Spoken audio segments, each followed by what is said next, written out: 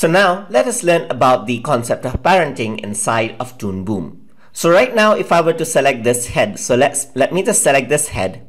Let me just expand it and change its position. If I were to do that, you can see that it moves independently right over here because it's not linked to anything right over there. So that's fine. So no problem with the head. But let me go to the shell and do the same with it. So if I were to change the position of the shell, you can see that the shell moves independently as well. But what I want to do is I want to link up all of the body parts to the shell so that when the shell moves, the other body parts um, uh, um, the other body parts move with it, but they are still able to move separately. So that is what the concept of parenting is all about. So what I'm going to do is here I have the shell as you can see. So over here, this is the main parent. Let me just press the minus key right here so that it hides all the attributes. Let me just expand this out over here.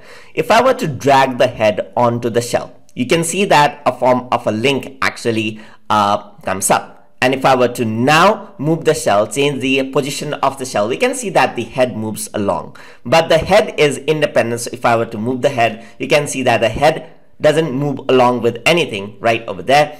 But if I were to change the shell again, you can see that the head and the shell moves again. That is because the head is the child and the child always follows the parents, but uh, the uh, always follows the parents, but the parent does not follow anything. So that is how it actually works out. So usually what I have to do is if I have a character like this, I choose a main uh, body part or an object with uh, to parent the rest of the body parts too so that they do not break off. But before I actually uh, parent this out, you should make sure that they are they have the right pivot point right over here. Because uh, whenever you rotate something you don't want them to have an error right over here. So let me just go over here and then uh, take out the head. That is take out the head outside uh, the parenting area so that they are normal just like this now what I want to do is I want to make sure the pivot points are all okay and for that I'm going to go to the transformation tool and I'm going to go to the translate option right here to set the pivot point. So I'm going to set the pivot point of the shell over here because that is the movable, movable point. So let's go to the head the pivot point for head is right here, which is fine. So that's okay. We already uh, actually arranged that out in the previous lesson. So now we're going to go on to the tail. So the tail's pivot point is right here, as you can see. Let me just hide the cell so that I can actually see this much more clearly. So I'm going to move out the pivot point right over here. So that is where the tail is moving out, so, uh, out from. So whenever you're actually parenting, you should make sure that you uh, use the pivot point to actually align everything out just like this. So now I'm going to go to the left. Um, that is the back left leg, which is going to be right over here. The back right leg, which is going to be right here.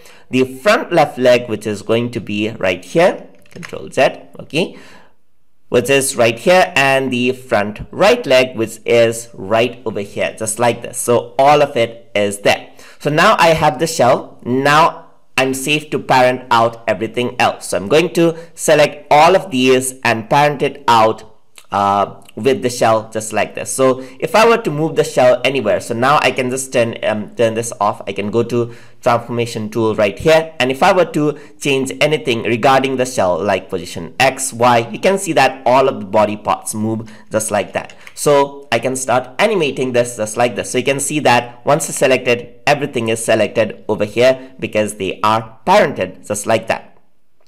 So I can simply go over here on to uh, let's say 20th frame and then I'm going to add in frames over here. So I'm just going to press F5 over here on all of it actually because I need frames for all of it.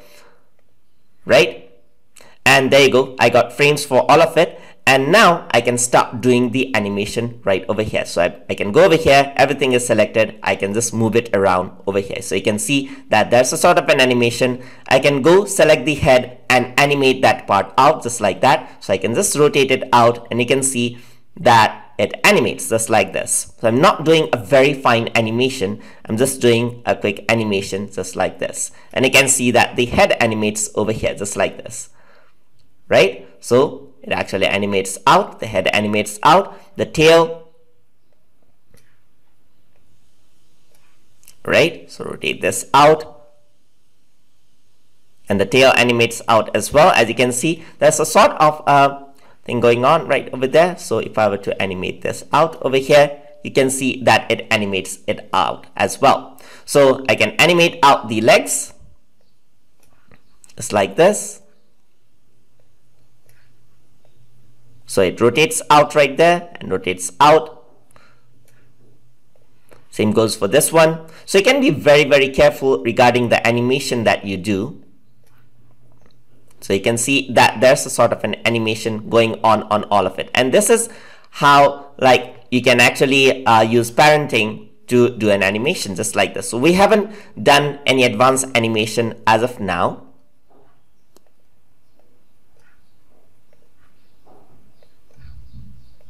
And then this one.